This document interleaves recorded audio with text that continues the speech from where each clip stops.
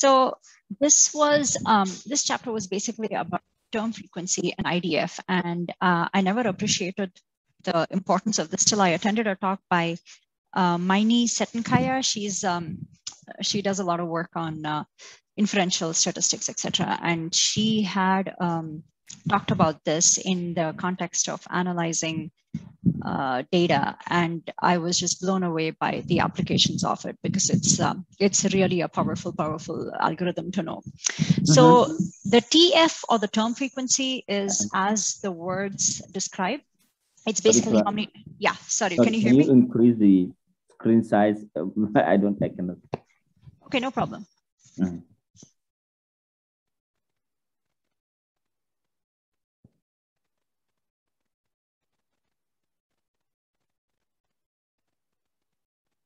Yeah, is this good enough? Okay, yeah. right. Okay, so term frequency is as the words indicate, it's free, how frequently a word appears in a document. And that is something that we always know. It's like what we call as rate, etc. It, it, goes by different um, terms. However, the IDF eh, or what is the inverse document frequency, it's kind of neat because it decreases the weight for something that appears a large number of times and it increases the weight for those which don't come as much. So it's kind of counterintuitive to how we think of as frequency because frequency we think of as count, as occurrence count. And the IDF actually is a way where you uh, decrease the weight for common words and increase the weight for. So that way, when you multiply the two factors together, you actually get the frequency of a term adjusted for how rarely it's been used. So in other words, it's going to pick up on the ones which are, um, and I think it, it kind of avoids the outliers, the ones which show up a lot and the ones that don't show up at all. And it kind of manages to find that sweet spot right in the middle. And you'll see that in a little uh, graph uh, further down. But um, in any case, they are using any questions at this point because this is like really the whole chapter, like TF IDF. So it sounds like uh, some military term, but that's what it is. Um, so uh, the same players involved, um, your dplyr, they are using the works of uh, Jane Austen here. And it's uh, in this like very neat library called janeaustenr. And I have a few other libraries that I've included here. So the first thing that we are doing is that we are pulling in Austen underscore books is literally um, just a collection of um, um, um, Shamsuddin, are you able to see my RStudio? Yes, yes. So uh, Austen underscore books is, oh, sorry, it's actually a function. So it's really kind of neat. They have tokenized every word in this. So I'm not sure I would call it word, but they have it broken up by some grain, and I don't quite know what the grain is. But if you um, do, um, let's say, if you do view of, uh, excuse me.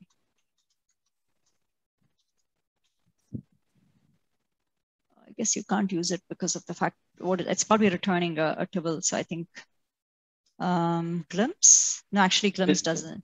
It's just the view needs to be capitalized. Oh, is it capitalized? Yeah. Oh.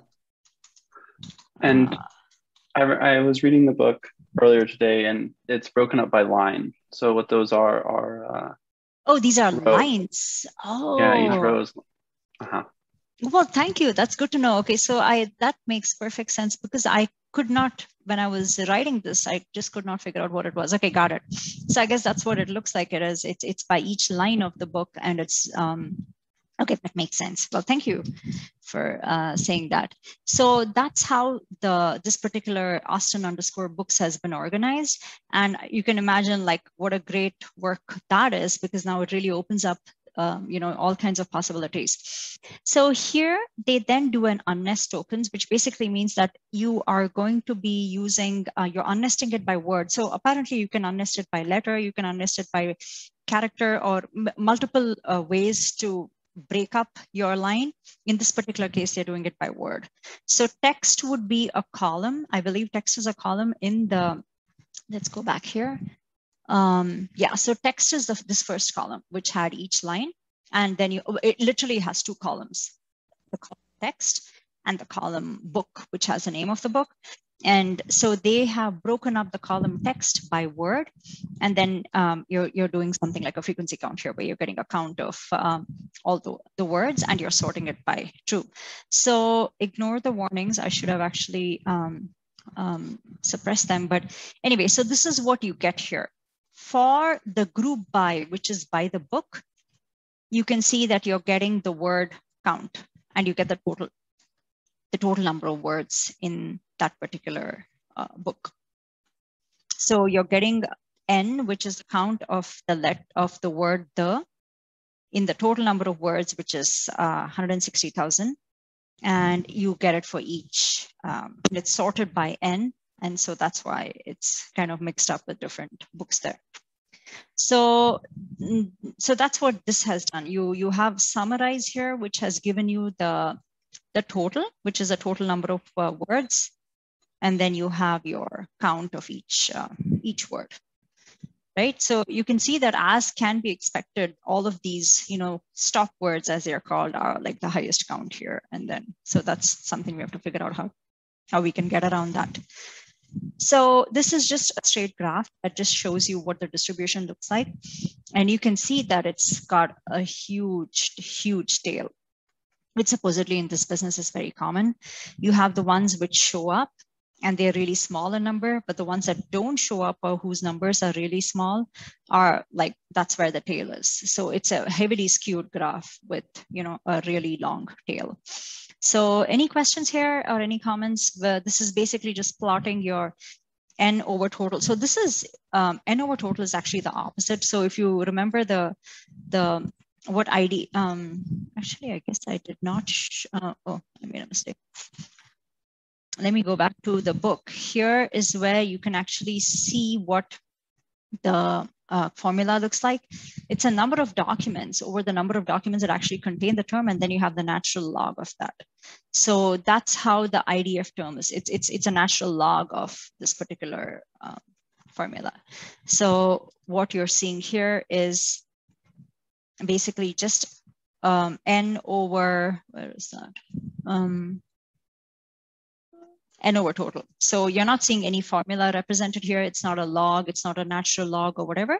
It's just a ratio, n over total. So you're not really calculating the IDF there in case you're wondering. But here, then they go on to actually do, so you know how it is, right? When, when a graph is skewed or it looks really bizarre, like we saw this during the COVID uh, era where you know, the, the graphs were like all over the place because we didn't understand what an exponential term was. When you have graphs which are this skewed, you always want to do a log or a natural log because then it, it, it brings up things which are not um, as easily visible as they are right here. So this particular aspect where you have a really long tail is uh, apparently goes by the name of Zipf's law, Zipf's law, whatever. It's, um, it's called, so here what it says is that the frequency of a word the frequency that a word appears is inversely proportional to its rank. So in other words, the more that a word appears, the less it is ranked. And less that a word um, appears, it has a higher rank. And that's exactly what you want to see because you can see how you have missed like the entire forest here by not counting what words these are just because they have um, such a low occurrence. So what he does here is then he determines the rank based on uh, exactly what they're talking about here. And he is ordering it by um, in, a, in a descending manner. And then you plot and you plot it here on the graph. And what you see is that you have the two ends kind of look like they're a little bit different, but this part here is, is really consistent, right? So there is this region here where they are literally on top of each other. Like the lines are all, all, they're all on top of the other. So what does this mean exactly? Basically, what it is telling you is that in this region where you have so much of commonality, this is where you can expect to see the maximum number of words where um, they don't fall either into the ones which are expressed the most or the ones which are expressed the least, but they are the ones which likely are the ones of most importance. So here you can see they have filtered rank less than 500. Now, because this is a log scale, it's not going to, I mean, this is obviously not 500. It's, it's definitely, uh, you know, um, uh, spaced differently. Um, you're basically selecting everything that's above rank 10 and anything that's less than 500. I'm not quite sure where 500 would fall. I'm guessing like somewhere here or something like that, but it would be this region. And they're going to try and draw a linear uh, regression to see what, uh, you know, how closely those are following along. And this has been converted into a log 10 scale here. So this is um, a log 10 for on both sides, your rank and your uh, frequency. So when they do that, what they find is that it's a it's a negative so in other words it's it's actually going down so in other words when something is expressed more or has a greater frequency it tends to be ranked lower right so that's why it's uh, it's a negative slope and you can see that right here you're having almost a straight slope i mean like your slope is almost one or negative one sorry which means that this is like they're perfectly correlated. The fact that your frequency is uh, um, 1e minus, is that minus? That's minus 5, right? Hold on. I'm confused right now. This would be a minus 0, 2, correct? So you're actually going higher in number. Yeah, so the frequency is increasing here, right? Because this is actually minus 2, minus 3, so it's going up. So that's right. So as your frequency goes up, you find that your um, rank, huh? is that opposite of what I just said? Wait, I think I said something opposite. The frequency that a word appears is inversely proportional to its rank. So in other words, the less, wait, frequency. So this is a lower frequency, yeah. That's a, a higher higher. This is a higher frequency, higher yes. frequency, but the rank is lower. Okay, yeah, that's right, because the rank is going up. Yeah, that's right. So this is a, uh, yeah, this is a higher frequency, and it's a lower rank. Okay, yeah, sorry, brain freeze. Rank is one. The higher the frequency, the lower the rank. The lower the rank. Okay, that's right. So and your rank gets higher when your frequency actually becomes uh, lesser. Correct? Yeah. Okay. All right, that makes sense. So, and that's what the text is saying that you're, it's, it's an inverse relationship right there. So when they plot the LM, you can see that this is almost like a straight uh, linear regression uh, slope. And so then they use this function, which is found in the tidy text package.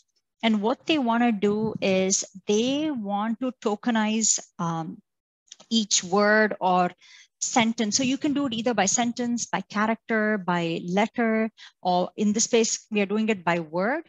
And you can do it per document. And your document can either be uh, everything in that it could be a whole collection or a corpus of documents, or it could be a single document. And I think typically this is used with like a large bunch of documents. So in this case, they're using the entire um, book.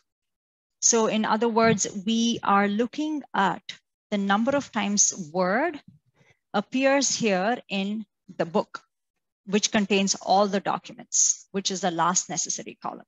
And then you have N, which is going to give you the count. So this is going to bind each word across the entire corpus of documents or the entire collection of books. So if you look at this now, you see how you have the same token here again. You have N, which for Mansfield 6206160460, as we saw earlier um, 620-16040.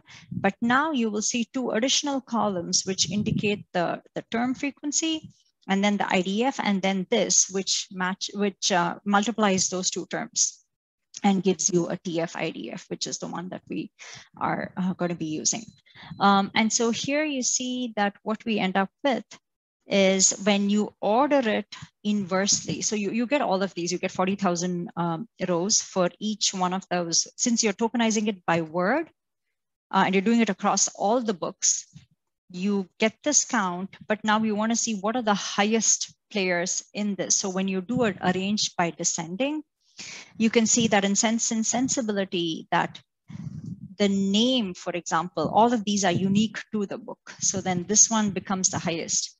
Marianne here is the highest. Crawford, all of these are like proper nouns. So proper nouns are showing up as having the highest um, uh, IDF here, right? So I'm not sure if this uh, makes sense. Is Are there any questions? Yeah, so what about the, um, which TF IDF, is it the IMBAS, right? So what the IMBAS is telling us now, the last column. The last one, right? Yes.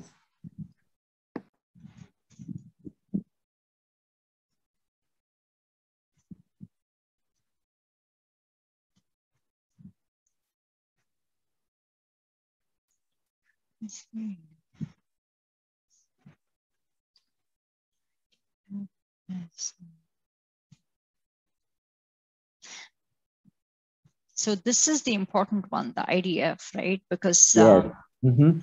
Yeah. So here you said the um, IDF here, we have like these important characters in the book, Yeah. which uh, maybe mentioned. Um, yeah. So I think this makes sense, but I'm trying to understand the TF, uh, the last column. Um, what is really um, let's see, what is the TF IDF here? Let's- mhm.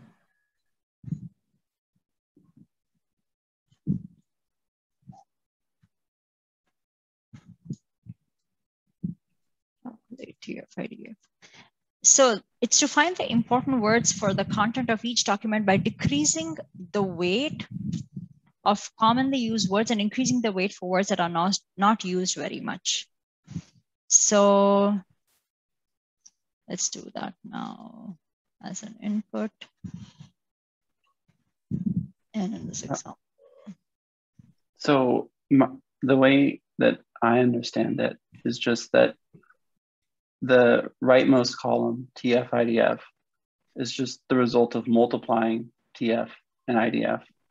And so you see that Mm. um, the words that were the highest, which are the, to, and, uh, they all have IDFs of zero. So that's why the third column is zero. So they get no weight, basically, because they're omnipresent throughout all of those books. And then, that's a good point. Um, Whereas here you have, these have a higher TF IDF.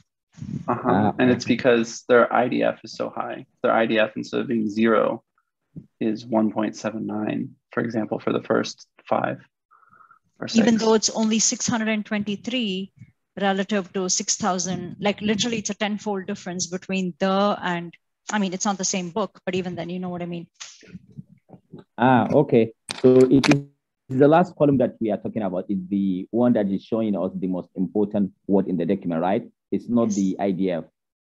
yeah exactly that's what that's what justin just said yeah that's Yeah. correct Yeah. okay it's that makes sense IDF. Yes, Yeah. it's TF IDF. that's exactly right okay yeah that makes sense Okay. inverse document frequency is very low for words that occur in many Right. So what is the use case for this? So if given a document, we want to find some important maybe words, um,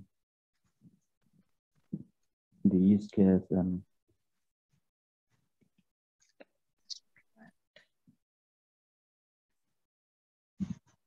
idf it's a natural log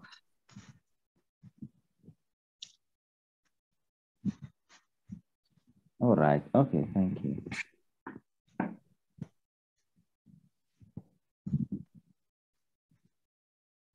PDF. Uh, and so then when they actually visualize this on, uh, uh, on a decrementing scale, you can see that here in this, you have um, a much higher TFDF, a TF-IDF for the ones which, um, okay, so that makes sense, okay. Emma, got it. Why it's TF-IDF? So TF IDF find in uh, words that are common but not too common. Yeah, exactly. It seems to pick that linear region, which is not either at the top or at the bottom. Like it's it's like right about here. Okay. Yeah.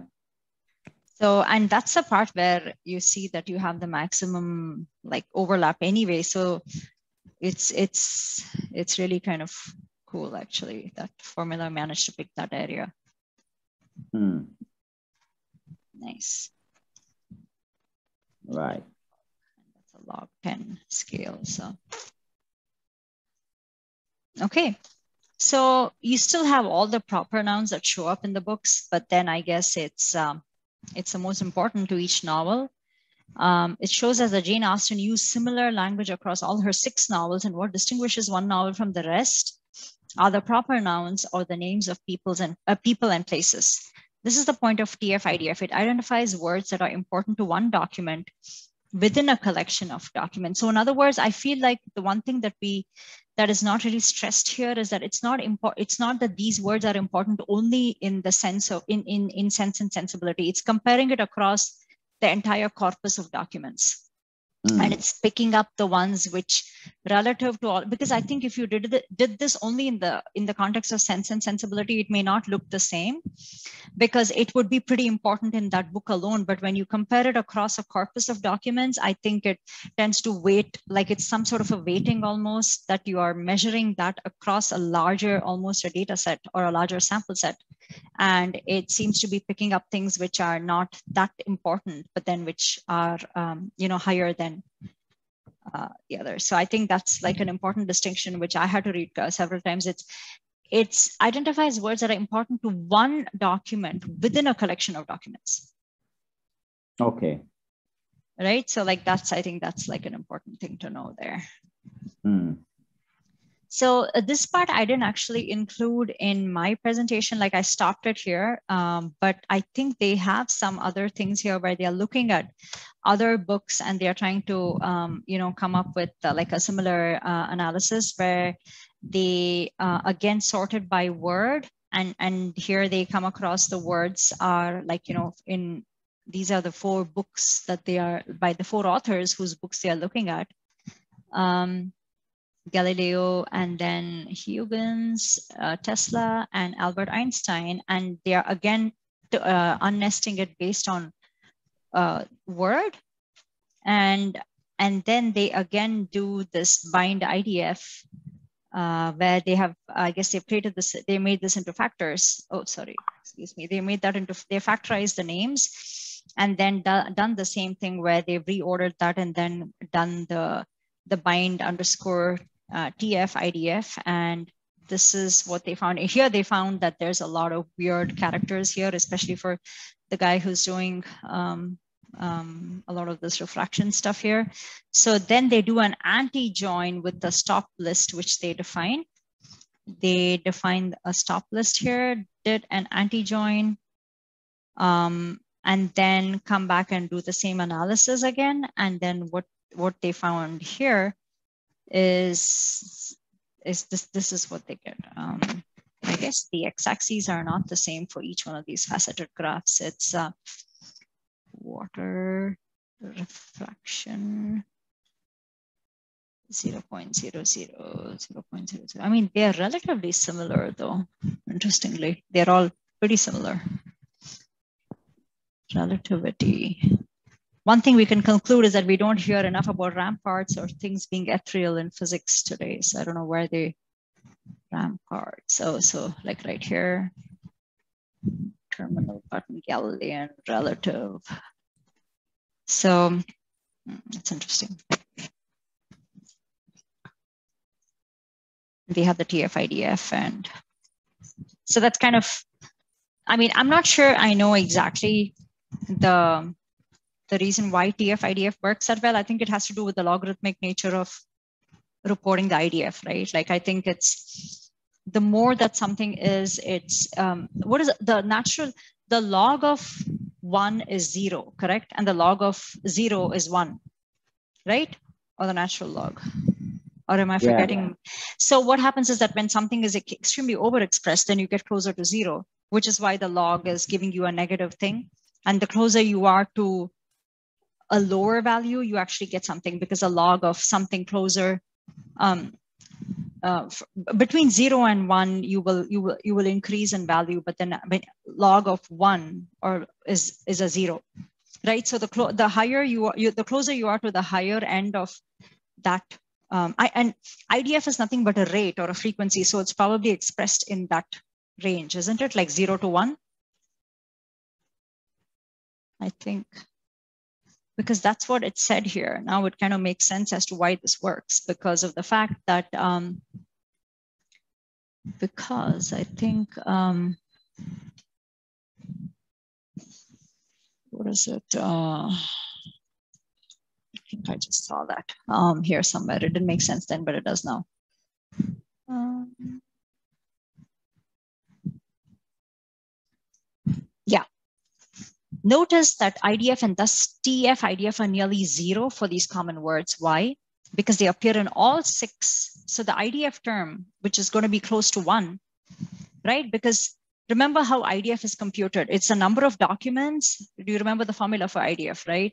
It was number of documents over the number of documents containing the term. So if a lot of the documents have it, then it becomes six over six, which will give you close to one. And the log of one is going to be zero. Whereas if you have it in lesser number of books, that means you won't have six over six, you may have six over one or something like that, which means you would have to find the log of something like um, six, wait, yeah. these are all words that appear in all six of Jane Austen's novels. So it'll be a natural log of one, which is going to be zero. So that's something that's really common. But the inverse document frequency is very near zero for, that, for, for something that occurs because you're multiplying it by zero. You're multiplying the TF into IDF by something approaching zero. So that's why your TF IDF gives you a, a low value for the common ones Whereas for the ones which are not there, then it's the opposite effect because when you put it here in the number of documents over the number of documents that contain the term, if it's in lesser number of documents, instead of six over six, it might be six over one document, then it's six. What is the log of uh, six relative to the log of um, one? What is the log of six? I don't remember. Let's try it and see what you get log of six. It's 0.77. So it's it's close to one, but it's not there. And whereas a log of one would be zero. You see what I mean? Yeah. yeah.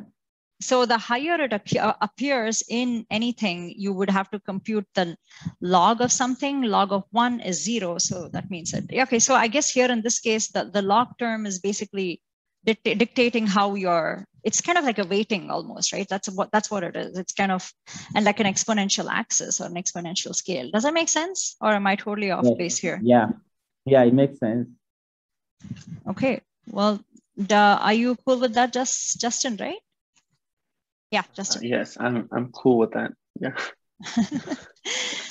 okay well so that's all i had um so i had mm, you know i um I've never actually wondered, I've never known how this thing works. So I was kind of happy to read it. And I think talking to you guys, it uh, many things that I thought I knew, I which I didn't, make sense now. So glad I could get that sorted out. Cool, cool. I mean, I mean that's one of the essence of the book club. Book club, right? Yeah. Actually, get you get get things yeah. figured out, right? Yeah. So if you opt to present a chapter, you try to read it and understand yeah. And it will stick more than just being passive member of the group. I, I totally, the, yeah, yeah. That's the main idea. Well, the next one is a pretty big one. I'm wondering who's going to present that because that's a it's a really good one. I've attended a talk on this and it's it's really interesting stuff. So curious yeah. to see who would present that. But right. Okay. Um, anyways, this is all I have now. Um, I'm gonna have to drop off because I actually have a call at 3:45 with a client. So ah, okay. Thank I'm going to jump off, but um, thank you so much. Sorry, I haven't been attending. I but okay. this is like my busy time of the day. So um, all right, thank you all. Thank you for joining, and thank you, um, Justin. See you all next week. Bye yes, bye. Yeah, bye. Bye. Bye.